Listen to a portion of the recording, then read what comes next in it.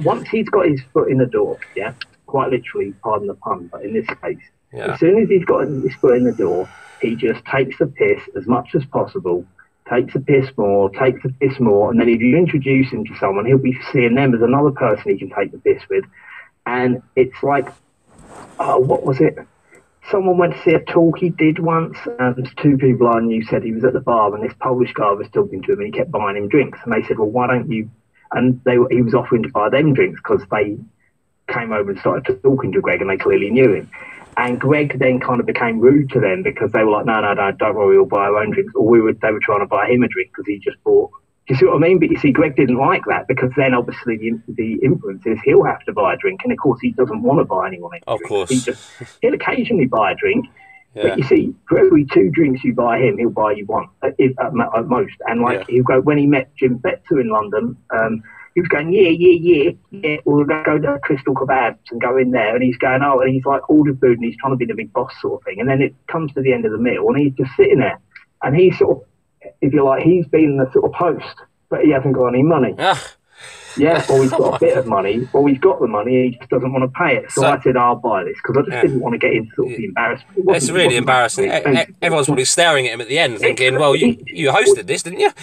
It's always, it's, it's always it's always the same though. All the time with him, it's always always the same. So, you, I mean, he's not always tight like that, but it's Mm. like whatever social situation you get in with him, he will always do masses of sort of um, things that you shouldn't do, and it's like, yeah, like he'll decide he doesn't like somebody.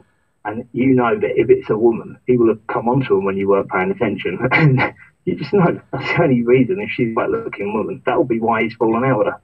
Yeah, she's Yeah. uh, she's uh, rejected his advances. Had she told that, I mean, yeah, she said what? Hmm. No, no, or probably it probably haven't been rude to her or anything. But then it's just he lives in a kind of delusional fantasy world. I've got. s- But he does know. But, but by the way, to be clear, he does know he's been dishonest with these people. He definitely knows he's been dishonest with them. He just thinks they're fools who need their money taken off him, off them to give to him. That's, You- that's what you- that is. Don't, you- don't be thinking he's lost his mind and he doesn't know what he's doing. He knows exactly what he's doing in this case.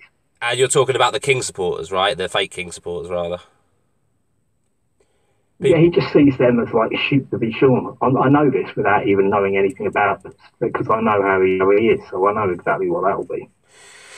Yeah, I mean, uh, you know, some of us, including his family, th- feel like he might um, have some sort of um, mental health issues, but um, I can totally uh, see that you know he probably does understand very much so what he's doing. He Um, definitely understands. Look, it's, it's a bit like if, if you and I um, got in some trouble and we were in court and um, we'd done something we shouldn't have done and they found out that you were a little bit cuckoo, it doesn't mean you're going to get off and not go to prison. You have to be quite bad before they'll even consider that. They'll say, well, yeah, uh, he's a bit eccentric, but it doesn't mean you could have glassed that guy in that bar. a lot of people that I didn't know like his Donald Duck impression. a lot of people that know him or have known wouldn't him get you off. Uh, they also say the same thing that you know he's sociopathic and narcissi- narcissistic. So you know, as a sociopath would do, he wouldn't really care about the impact on others. Um, he would just go with it. Um, But the thing, sorry, is, is the fact that he caters his behaviour for his audience. If he thinks you are a retard, right, yeah, he will come out with all sorts of stupid shit. If he thinks you're like a hippie who believes in all sorts of ethereal stuff, yeah, then he'll he'll he'll stress all of that. So I'm not saying there's anything wrong with the way different people think, but he will just stress.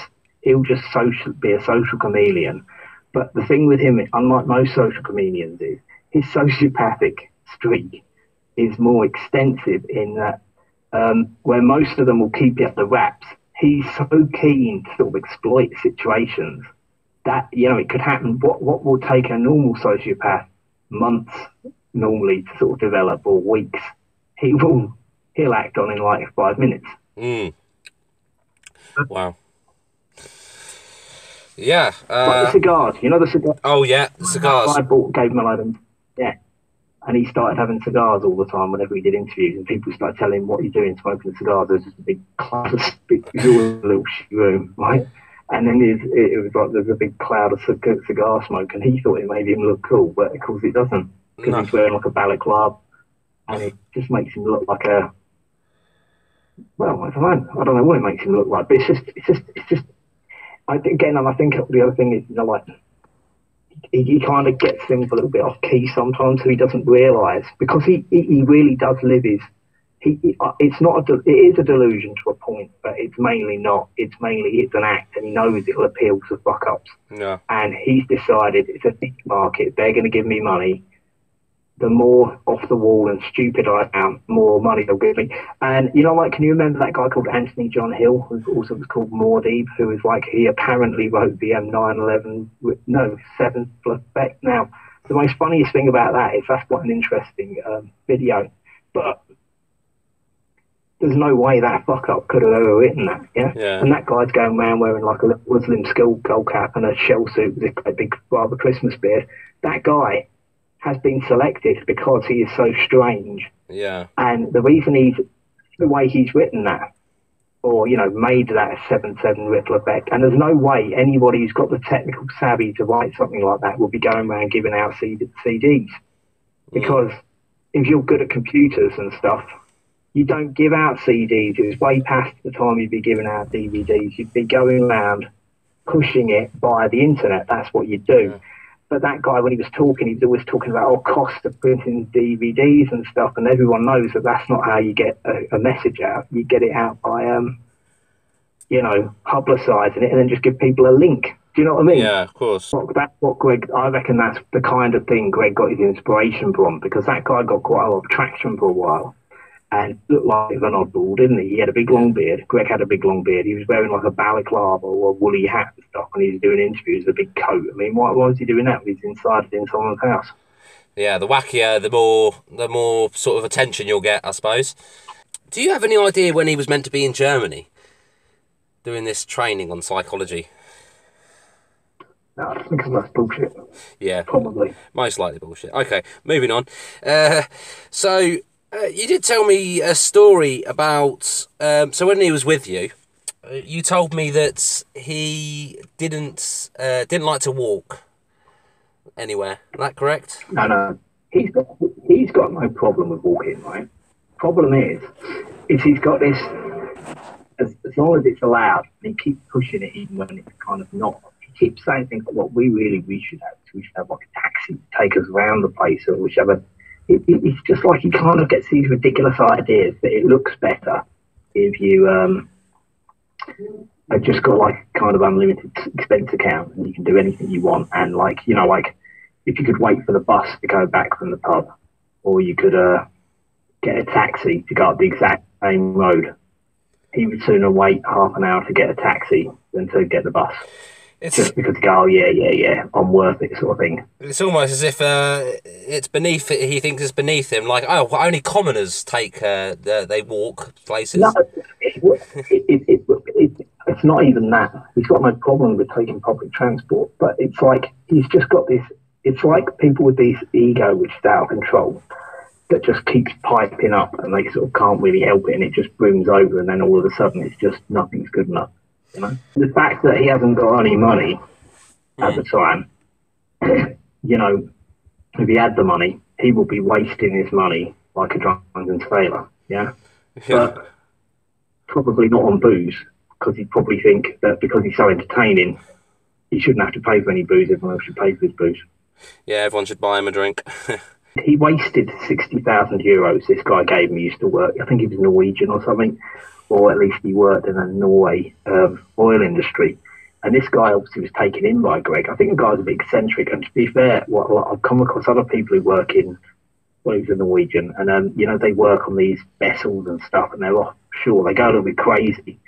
And of course, the other thing is they've earned a load of money, so they kind of want to get some kind of bang for their buck, so they can spend it on something completely pointless. Interesting. You know, you kind of lose. You, you won't spend money on necessarily the same thing as somebody who's been working in Tesco's. Absolutely. Um, so why why did the this Norwegian give him sixty thousand? Was it to do, to do with his books? Yeah, because yeah, no, because he thought it would help his research, but of course, Greg just then went back to Portugal, started hemorrhaging the money immediately on hotels, a, ho- a hotel, and then he was going out and he said, "Oh, you can't even get anything to eat round there for less than like you know 50, 50 euros for dinner or whatever." You know, because he's like going out and he's he's like literally living like as though he's um, Keith Floyd, but he's not Keith Floyd. He's Greg Hallett. Like I know someone who knew that Keith Floyd, and he said, yeah, the guy's probably spent millions and millions and millions on just like living the high life every single day. And they were saying, yeah, he's very entertaining. Everyone likes him, but you know, just literally pissing all money up the wall and eating everything he wants and doing everything he wants. And if something needs to be bought, he'll just buy it, even though it doesn't need to be bought. But in his head, it needs to be bought. so he just wasted all that money. He So wanted- that money could have actually been. been used for productively. Yeah, he, wanted to live like a king, or even Lord Chancellor. Yeah, exactly. Uh, the other things that you're talking about was, um, uh, and this is a seems to be uh, things uh, something that other people have told me. Uh, it, it seems to take everything in a sexual way. Um, yeah. yeah, and uh, you know, obviously, I've I've heard that you know he'd made various advances uh, to women. Um, that he feels that you know someone of his age should have a 21 year old girlfriend. You know, he'd Yeah, made well, remarks like that. Yeah, he does.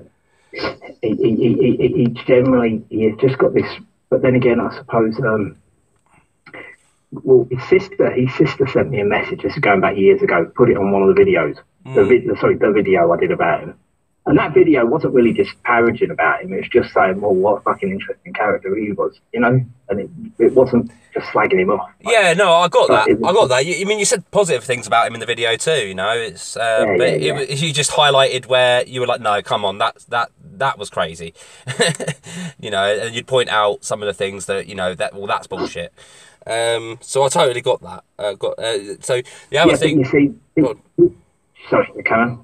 Oh no, I was, I was just going to say uh, on that sort of sexual. He, take, he seems to take a lot of things in a in a sexual way, or or, or Well, his sister, his sister commented on that video that when he was in it, and he told me about the fact he'd been in this kind of what did he call it a um a commune he called it he called Yeah. it a sex commune and he said the reason he didn't like it and this is why he stopped eating meat was because and he doesn't eat meat It's not just one of these people who says he doesn't eat meat but does yeah, eat meat just when people's backs are turned. He's not one of them. He does generally not eat meat. He said what it was is when they were killing the pigs, they were like chopping them, and then they were like continuing to saw through, and then they were like twisting their head round to, you know, twisting it round like 360 degrees to s- pull the head off. And he said it was all just a bit disgusting, yeah. and it put him off, and he just it Put was him off disgusting. So. So the point. So he did. He did talk Yeah. about this. Yeah, you're talking about Centrepoint, Centrepoint, um, Centrepoint con- co- uh, commune, which was basically a sex cult, um, Yeah. and and that was taken down eventually uh, because the some of the the ringleaders of the cult they were involved in child abuse. Um, Yeah, yeah. Well, I mean, this is the thing. But I don't know much about that. But that's what his sister said. And I- I'd imagine his sister's right. And of course, the thing with um, I don't know. Um, one of the things is that these people. It's a bit like Freud. You know, Freud at least pretended he saw everything in a sexual way. Now, you remember he was actually a cocaine addict, wasn't he? That's possibly part of the reason. But at the same time, even though probably it does permeate into every sort of aspect of your thinking at some level, it's some people literally they can't they run with something and they keep running even when it's like become irrelevant, you know? Yeah. And that's what I think is him. So for instance, he's got this idea like that um like I mean one of the, the books I know actually read he did, which was like what's it called? Um I can't there was three of them. Uh, they were called the Sex Collectors. There was three books. Oh, yeah. Terror and Ticket. Yeah. Yeah. there were three of them, and I never read them. I read bits of bits of them that he showed me, but I just basically couldn't be bothered. But maybe I would have read them. But then again, with him, it was like he'd say, "Oh, we should read this, have a look at this, have a look at that." But at the same time, you're trying to get like information from what he said in the past and verify it, and you're not doing that. So you know what I mean? You get to this point where you stop and you say, "Look, no, hang on a minute, not read, read, read, read, read." Then get back to you because it's all in your book hmm. tell me about how that other thing that you were claiming, how you actually came to this conclusion. You know, look, don't keep telling me it's in your other book, it's in your other book. You're sitting there now. Yeah, talk It's to me. Yeah, on. don't tell me to go Tell and read more, read all books that you know. You, you, he's living in your place. You know, it should be one of the perks that you can actually pick his brains. Um, but Yeah, yeah, no, I did pick his brains. Yeah, but yeah. a lot of the stuff he said is interesting, but some of his outrageous claims yeah, I mean, listen, I'm, I mean, I don't, I'm not one of these people who's dismissive of things. If someone can explain something and they just take a while explaining it, that's that's fine. Sometimes that happens. You don't you don't get to learn stuff in life by just shooting everybody down before they've had a chance to explain something. Mm. And there is quite a lot to some of the things he says, but with more outrageous claims, like the one with the Berlin Wall, it's like it's like he hasn't even thought the story through properly. He's come out, he's tried to put so many bits of bullshit in there that they just don't even make any sense whatsoever. And also his way of saying it, well, I thought I'd claim responsibility there because it's 20 years ago now and no one's claimed responsibility. He almost sort of thinks that he's got a right as a leading historian to just claim, oh, well, I'm going to put a theory out there, which in a way, when you realise how much bullshit history is, it's actually quite an honest, honest way of teasing with it. Just come out with some bullshit, throw that out of the theory. Yeah. Why not? Why not include yourself in it? Yeah, I get it. But you see, this, the thing is, when you realise all history is bullshit, there's a part of you that sort of thinks, well, why not? Why not just make up a bit of bullshit like David Irving? David Irving's probably the best historian ever, but at the same time, David Irving does put things in his books, uh, not in his talks, which he knows are not true. So, um, you know, he, he gets away with it because most of the stuff he says is very insightful and well researched, so he can put a bit of bullshit in there. You know, Greg knows about how this works, so but you see, the thing with me is, I don't know. It's not like if you can't beat them, join them with me. It's like, well, they shouldn't be doing it. I'm not going to just do it because everyone else is doing it. Yeah. You told me an interesting anecdote about one time when uh, you uh, had reached into your pocket in front of Greg and it was quite. Oh no, no, I was, I was. He, so basically, right, yeah, I was in he, the room he was staying was big, yeah, yeah, and it also had like windows overlooking, like, so it was in North London, and if you looked out the window, you could see all the way down. You know, you could see the sort of skyline of central London. You know, like down, if you look down, yeah. Uh-huh. and um, I had jeans on, and uh, I remember I was looking for something in my pocket, probably tissue, probably had a runny nose or something like that, and and I, you know, you know, you put your hand in your pocket, you, you, you, sometimes things fall out of your pocket without you realising. Yeah, yeah. And I was there and I was talking to him now. He's got a, a, desk set up with his computer and he's got, I mean, he's typing away. Um, and yeah, I, uh, and he was like, "What's that?" He sort of said something like, "What's that?" And I was like, um, "I was like, look, I didn't even know what you're talking about." And then, oh, and there's a condom on the floor. And I was like, "It wasn't like a used condom; it's like in a packet." and I, I said, "Oh, it must have fallen out of pocket." And the thing with Greg is, instead of just going thinking, "Oh, it must have just fallen out of his pocket," Greg sees things that. You see what I'm trying to say? He think it's like his head is just always thinking of everything in a kind of manner which doesn't make any sense. I'll give you an example. If any of your listeners um, are familiar with Chris Chris Spivey, Chris Spivey analyzes pictures, yeah, of say like one of the royal family, and they'll have like a baby on their knee, and he'll be going, look, that guy's got his hand on that little kid's penis, and it's not. It's just he's got his hand. The little kid's sitting in his knee, and he's put his arm around him or something. Do you see yeah. what I'm trying to say? Yeah, he saw the condom. There's obviously nothing sexual going on. Like, there's nothing sexual. No, of course not. There's something like, oh, oh, what's that? And he's like, all sort of like, yeah. it's almost like somebody done something wrong to him or something. You know, like, what, what's that for? What are you going to do to me? yeah, yeah, yeah. What are you going to do to me? Sort of thing. It's that kind of just he reads he but the thing is he knows he's got he he doesn't think I'm a homo. Do you know what I mean? He yeah. knows I'm not. So it's like but the thing is he's so hardwired to read into everything some kind of sexual undertone mm-hmm. that even when he knows there isn't one, he's so it's like one of the things he just immediately starts running with. And yeah. that's the thing is it's like if you have this idea that the world runs on shame, which I think it, to a large extent that is used, blackmail is a major thing, it is, but the point is, not every single thing in life could ever possibly run on that system because if it did all run on that system, yeah. the people would be, become so ultra careful, you'd never be able to catch them out with anything, would, yeah. would you? Yeah. Logically, it can't it can't play out that way because if every pet politic, I mean, if you've seen that film, The Bank Job, you know, The Bank Job, the one with Jason Statham, and it's all about how they um, have to rob a bank, and the idea is that they're going to rob the bank vault take the safety deposit boxes out because one of them's got incriminating pictures of someone in the royal family doing something they shouldn't have been mm-hmm. doing or would be embarrassing for them. And it also had a load of pictures of MPs and stuff that had been secretly taken. Now, a lot of this has been massively publicised over the years, but you've got to remember that psyops have been going on for a long time. And like this bullshit with J- Jeffrey Epstein, if it was genuinely a problem, what was happening, it would never have leaked in the press. You wouldn't have that cunt Shaun Attwood doing endless um, podcasts about it all the time, literally maybe sometimes more than one a day, just going on and on and on and on and on. You know who Shaun Attwood is, don't you? Yes, I do. Yeah, yeah. Yeah, he's been pushed out there, and his whole job, he's clearly a counterintelligence agent. He's, I'm sure he's never been in prison, but it doesn't really matter if he was in prison. But he said when he set his channel up, it was to highlight the fact that in the American prison system, they're sticking all these mental people in there, and secondarily, you know, warehousing mental people, and and he's also saying that they were um, putting in loads of like basically often black or poor people, you know, for marijuana offences, yeah. and then they get into prison and they get into all sorts of trouble, and the next thing they'd be in prison forever because they'd end up stabbing someone because they tried to stab them, or they'd be put up to it or bullied, or they get involved with all sorts of stuff. It's, it's, so you're basically the criminal class and you're yeah. filling up, you know, making a massive industry out of it. But of course, he's never ever actually done a show about that. Now, this is a bit like Greg. He says all this stuff, but he never actually gets down to the nuts and bolts, right? Yeah.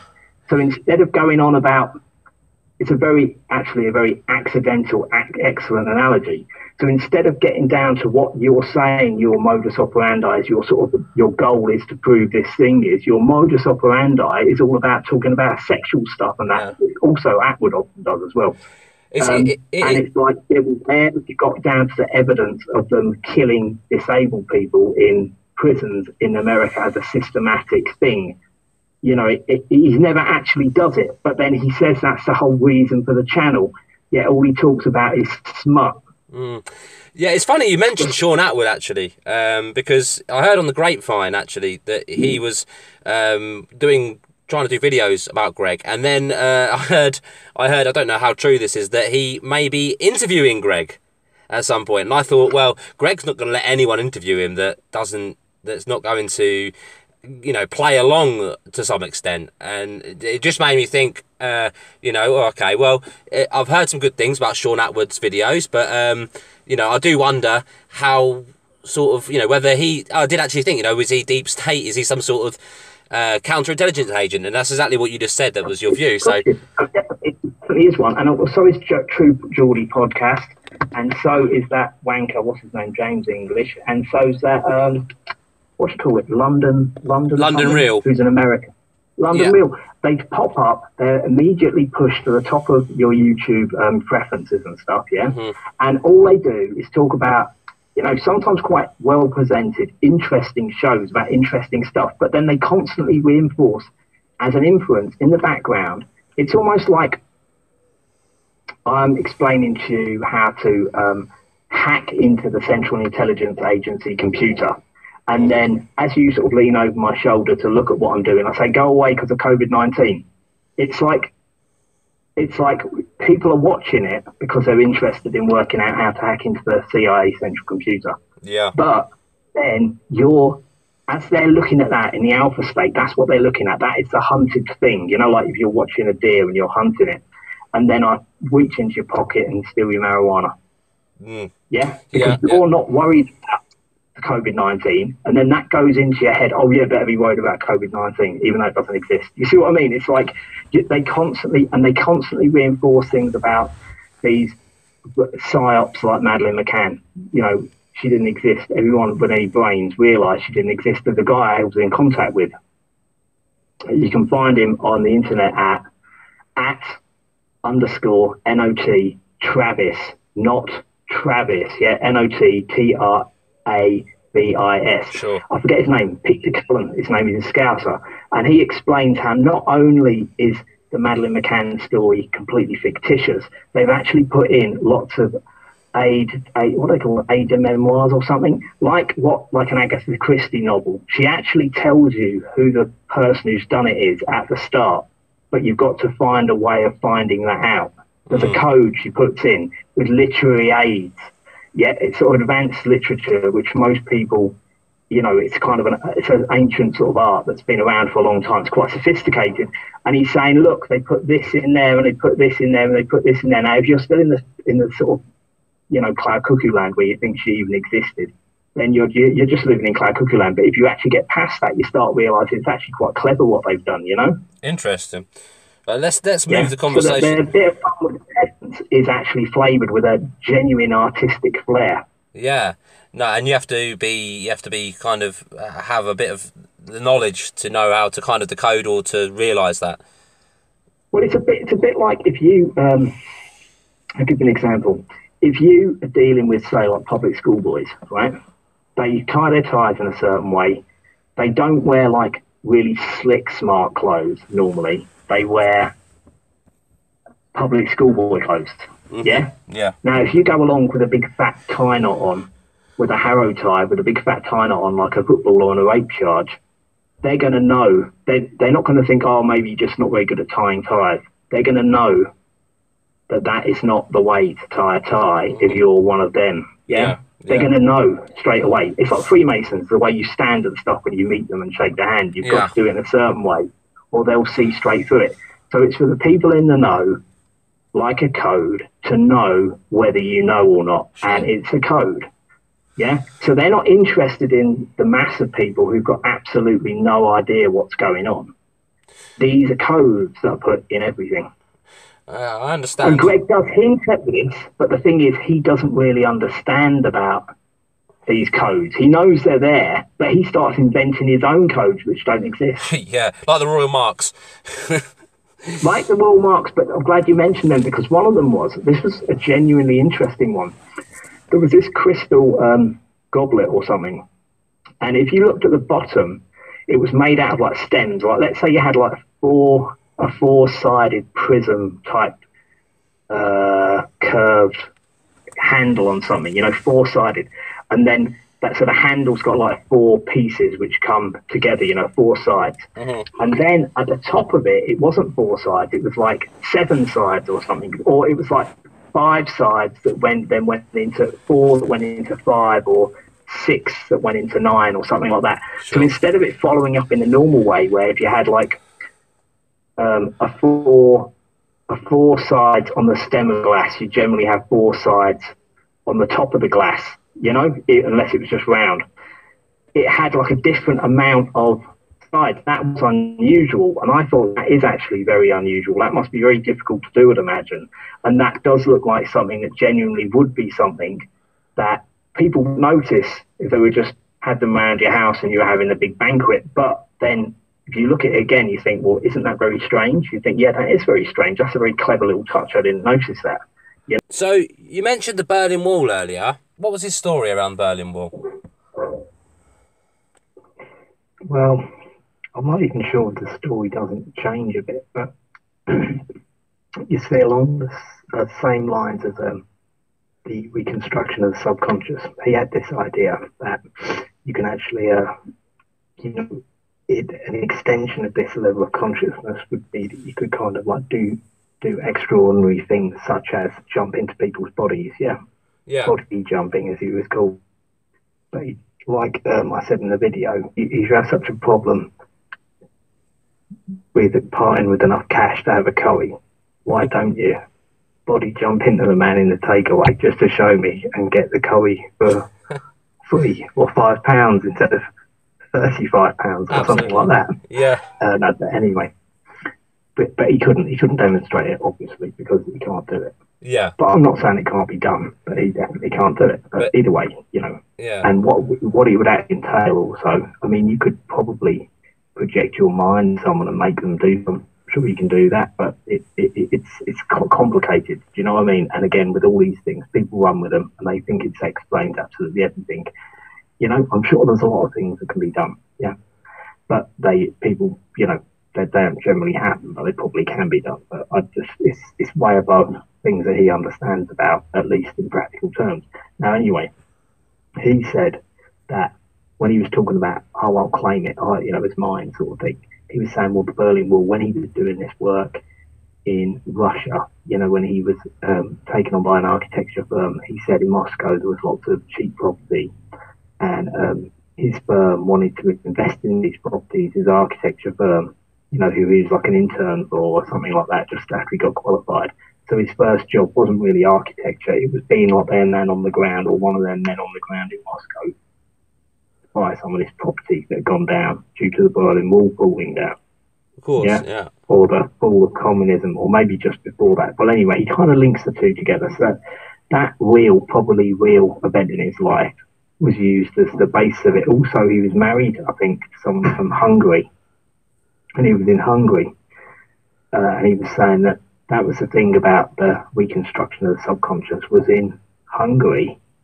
He said the people were all acting in a manner which didn't appear to be in their own best interest. Actually, funny enough, other people actually, I've mentioned that to other people, and they said, "Yeah, I've been Hungary." That's what I used to think when we went there. You know, like years ago, they appeared to be like that. They appeared to all be just going around in their own little bubble Mm. and something odd about them. So anyway, there's, there's probably something to all this. But anyway, then he goes off the crazy deep end, and he starts saying that when the Berlin Wall came down, he went over on like a mail plane, you know, so he was like going across to Berlin, sort of a freight aeroplane, um, you know, with for the CIA or some fucking nonsense. And I think there was another Russian spy with him, a sexy Russian spy or something like that, what some CIA agent nonsense, yeah. She Mm. was blonde and she was about 21. I can't, I can't, you know, I forget the exact details. But, um, you know, then he got there and then um, he somehow managed to get the uh, guard drunk who was, would have opened, you know, let them through the gate or let them down the wall or something, I forget. And um, he, uh, anyway, body jumped into the guard. But, oh yeah, the guard was busy with some prostitute who was being sent there by the CIA, possibly the one who was on the plane with him. It's just, the story's just fucking stupid. And the thing is, well, if you've entertained him with this prostitute and he's not paying any attention to his work, why, why body jump into him? Why do you need to get a CIA agent from America to go and do all this stuff when you body jump into him? The story just doesn't make any sense, does it? No, it doesn't. It really doesn't. Um, I find that quite funny. It really doesn't. So- so you see what I mean? Yeah. So what does he go on to At the say then? time- He, he jumps into this uh, Russian bodyguard. Um, did he? Didn't he make a claim after that of something that he did in, in whilst he was in the? Yeah, something he let the well, he, he, he let them let, let the people knock the wall down or open the gates or something stupid. But then again, like I don't, I don't even think he really. But then he said some stupid stuff about um, how the way you do it, you kind of train people, and apparently this is how sort of certain special units in the army do it. Is they terrify people so badly that they kind of um, stop worrying about death and stuff, and therefore they can really focus. And then, but then he starts again making it really stupid, and he starts going on about Anubis, Anubis, and then Anubis this, and then it's like it's always the same. It's like he can't just. He always has to make things. Sto- his Stupid story's things even more spectacular. Make up even more stuff to the story to embellish it. He embellishes things to the point where he contradicts the premise of what he's saying. He kind of makes out it's like, well, what the fuck has that got to do with anything? And it's just like then you realise, well, you can't really really think logically through it. And you say, well, hypothetically, if that's true, well, why is that happening? And why is that happening? But of course, the whole thing's just made up, so it's just stupid. Mm. Okay, yeah, yeah, that was just one. But I do believe that you could. I do. I do. I do believe that you can probably do things to your subconscious which would start making it really work Sure. how it's meant to. But, but in fact, it would probably be led by your subconscious. It would be more like allowing your subconscious to truly guide you better.